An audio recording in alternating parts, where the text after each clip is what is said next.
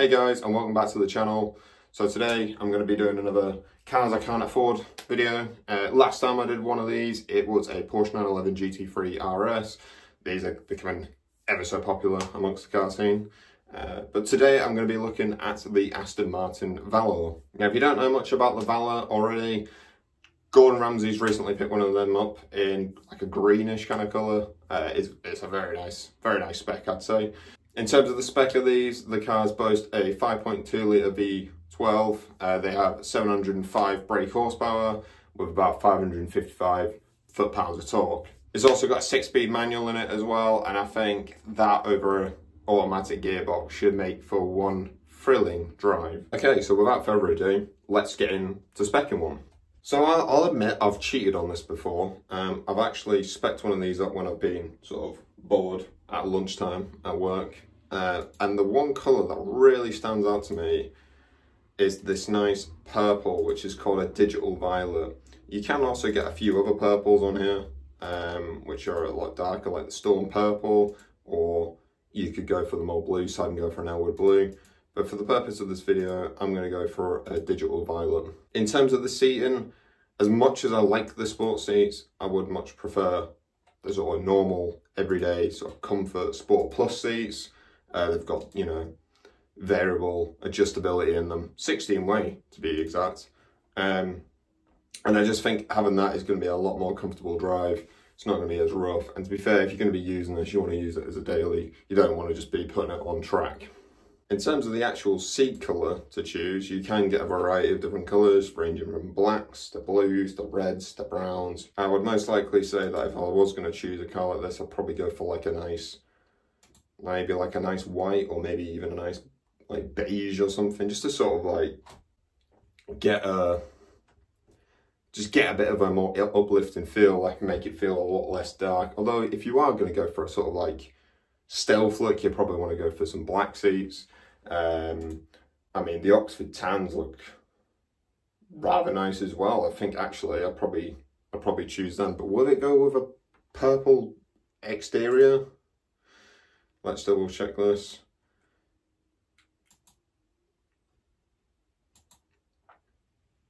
Actually, yeah, I'd, I'd, I would say that the, the purple works well with the Oxford tan. So for this purpose, I'm going to go for the Oxford tan leather.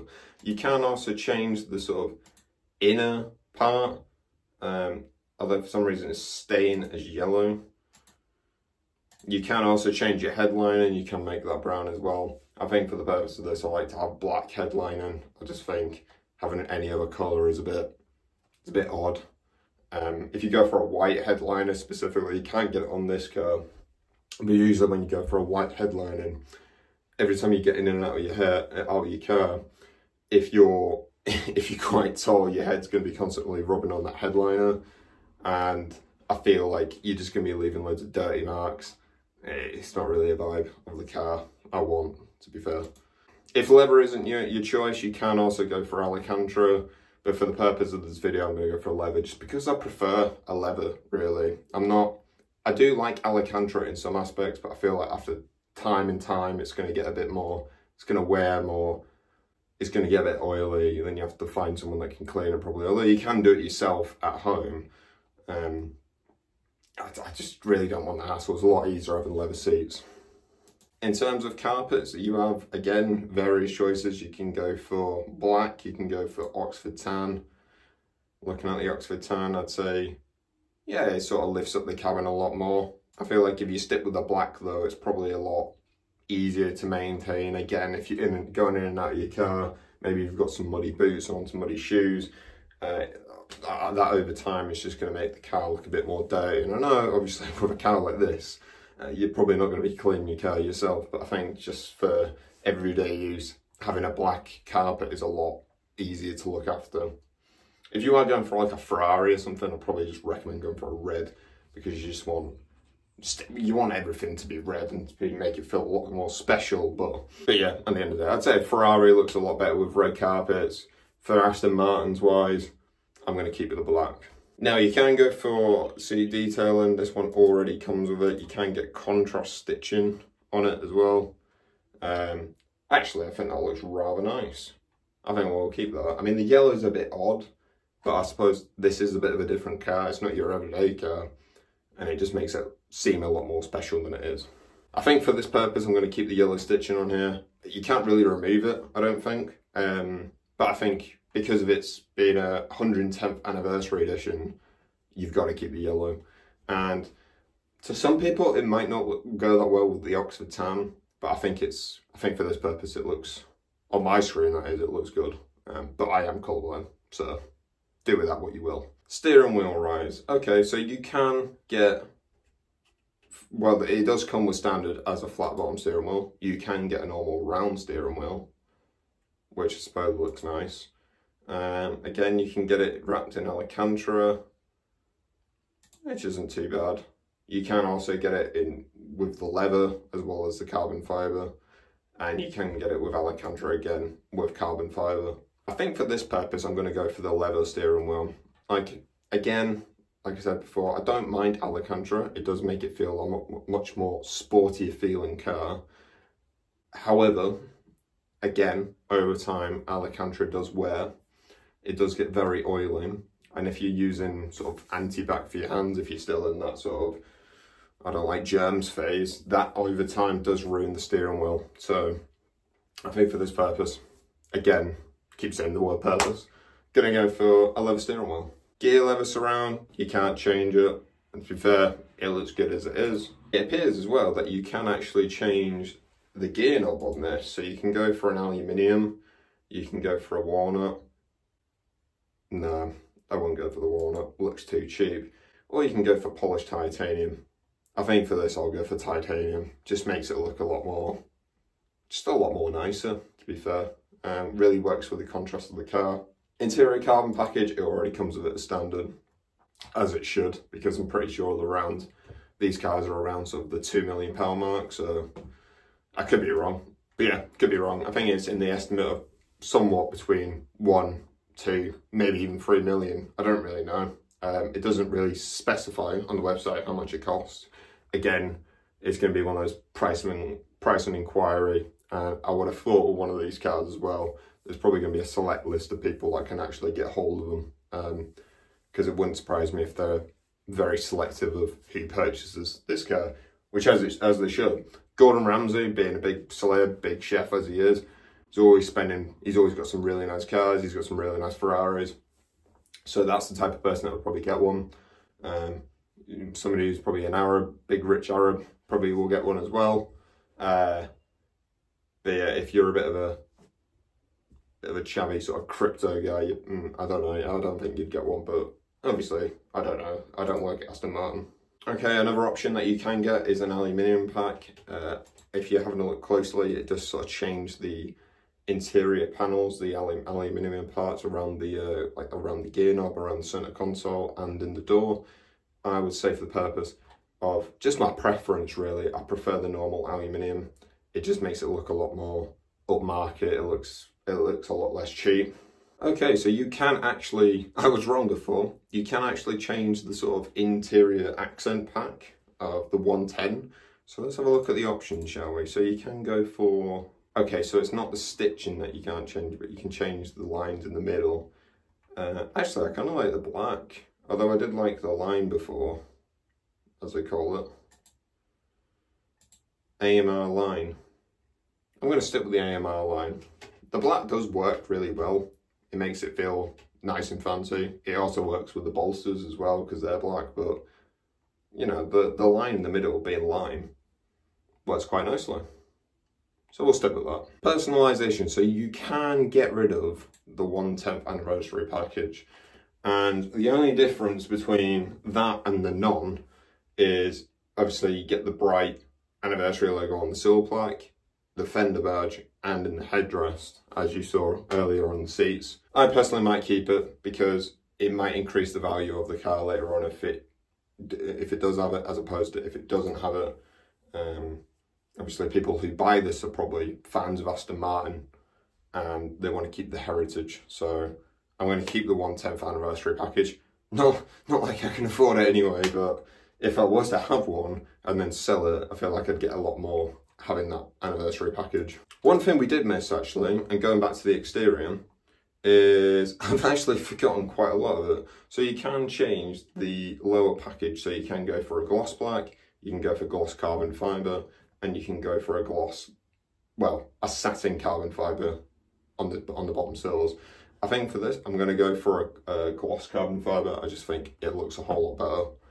Gloss works nicely. I feel like, again, just not a fan of satin carbon. Like, it's okay. I've got it on the paddles of my of my M240i. Uh, but I'd be honest, I would prefer them to be gloss. So upper body package, you can, you've got four options on this one. You can either go for body coloured, you can go for gloss carbon, satin carbon, or you can go for a gloss black. This is what it looks like with the satin. This is what it looks like with gloss black roof. It does look nice to be fair and this is what it looks like with the gloss carbon. You can, like I said, keep it as the body colour. As much as I like it, I think I might actually go for the gloss carbon. I think it makes it feel a lot more lower, it helps with the body, body lines, and I just think it sort of breaks up the pattern in the car as well. So for this purpose, I keep saying that same one, gonna go for the gloss carbon. Side vents, Again, going to keep it gloss carbon. You can also get these things called exterior brightworks. Now, I don't know the ins and outs of these, so let's have a look at the options. So you've got dark, which dim, well darkens the colour of the grill, and I think it darkens, yeah. So it darkens the aluminium sort of chrome part around the door, the trim around the door, and it also darkens the grille.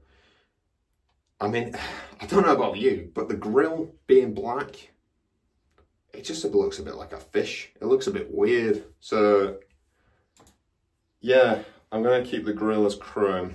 Grill surround, it's already matched the lower body package.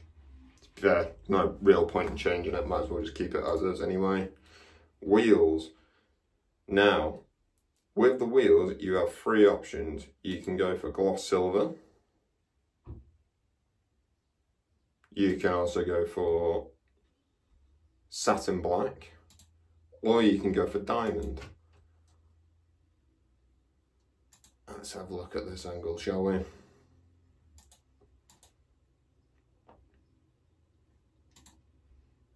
And again, this angle, let's have a look. Yeah, I'm going to stick with the shadow wheels. I think the diamond cut alloys look a lot better. So for that purpose, We'll go for that. Brake calipers, you, again, you can have various different colours. I think just because it sort of matches with the colour, mm, actually the yellow looks a bit odd.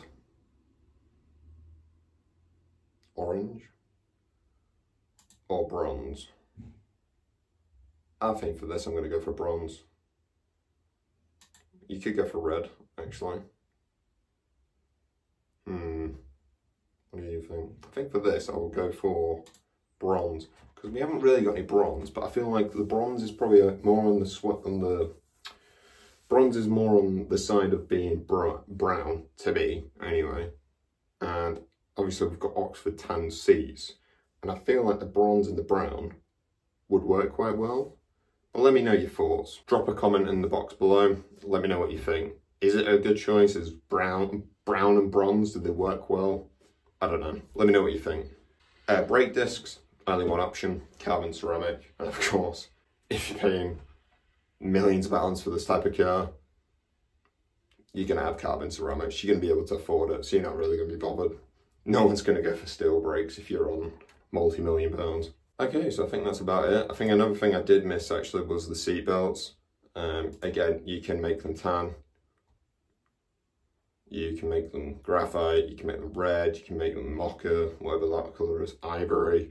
I'm just going to stick with black. Never really had a problem with black seatbelts to be honest, and to be fair, if you've got a girlfriend in the car or a wife or a boyfriend, whatever it may be, putting on a seatbelt, that's maybe bright yellow. If they're wearing something pink, there's going to be a bit of a clash, and it's not going to be a great argument. Um, yeah, and I think that's about it. I mean, the only last thing you can order is a six-piece luggage set, which I'm not really bothered about. I don't really want Aston Martin branded suitcases because it's just going to get ruined anyway. You can get car protect, so let's add on wheel, winter wheel and tyre kit, convenient package, car colours, indoor and outdoor. You can get a personalised one if you if you want that. Don't know why you would. You can also get tread plates. Let's go for bright. Don't even show you far. never in never in my life did I think that as part of the accessory package of buying a car would they offer you an open face helmet with a Union Jack on it, or some driving shoes. I'm okay. I'll leave it. I'll stick. I'll stick with my Vans, mate. In summary, what colour did I go for? Well, I went for... I went for digital violet. I think that with the diamond cut alloys works quite well. This is what it looks like in the dark, and this is what it looks like in the day. To me, that colour is the best colour I'd say purples are the way to go. I wish my car was purple. Perhaps maybe I get it wrapped. But I think the purple looks really nice. Dynamically, it works nicely in day and in night. The alloys work perfectly well as well. I think as well, having the chrome on there sort of breaks up the car as well as having the carbon roof and the carbon seals at the bottom I think the interior wise as well, we've gone for is a very nice choice. Might be a bit of a bold choice with the lime green package. But I'd say it works nicely, to me anyway. It is my car. This is the car that I would choose. Oh, I mean, just, just look at the back. Look at the arse on that thing. It just looks so planted. And it's not even moving. Like, even on this, even on this image, it looks brilliant.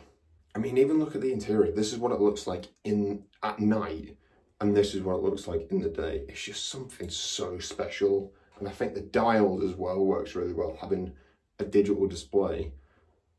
And then you can change all your different track modes in that, and then having the middle screen. I'd say Aston Martin personally could have done better with maybe the rest of the dashboard.